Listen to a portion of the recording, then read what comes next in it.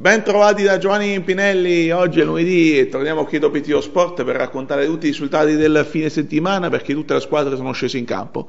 Iniziamo dalla pallanuoto, facile successo per l'NSNC che ha battuto per 11 a 6 l'Arvaglia dopo una gara già incanalata nei primi due tempi, 5 a 2 al termine del primo tempo e 8 a 2 al termine del secondo, quindi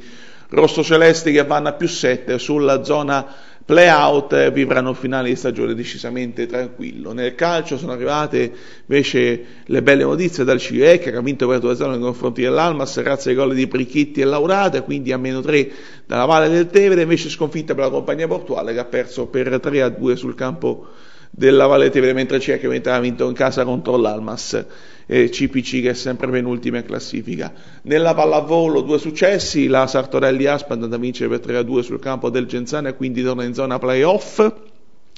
Invece la Margutta ha vinto facilmente in casa 3 a 0 contro il Volle Lago e si riporta, eh, non è che si riporta, rimane comunque al terzo posto e ha sempre due punti di vantaggio sul Pro Castelnuovo. Nel basket vince la Stemar 90 che vince con 15 punti di scarto nei confronti di Frascati e rimane seconda in classifica visto che ha Diper ha battuto il San Paolo Ostiense. Invece nella pallamano, brutte notizie per la Faioni che ha perso in casa contro il Cassano Magnago per eh, 24 a 19, quindi battuta d'arresto per le giallo-blu che hanno 5 punti di vantaggio nei confronti del Mestrino che ha perso i rigori contro la Messana.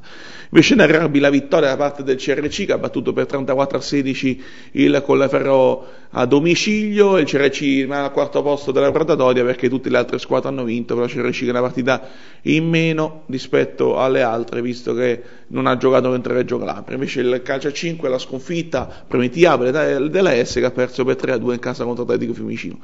eh, contro l'Atletico New Diem. Quindi con questa notizia si conclude questo,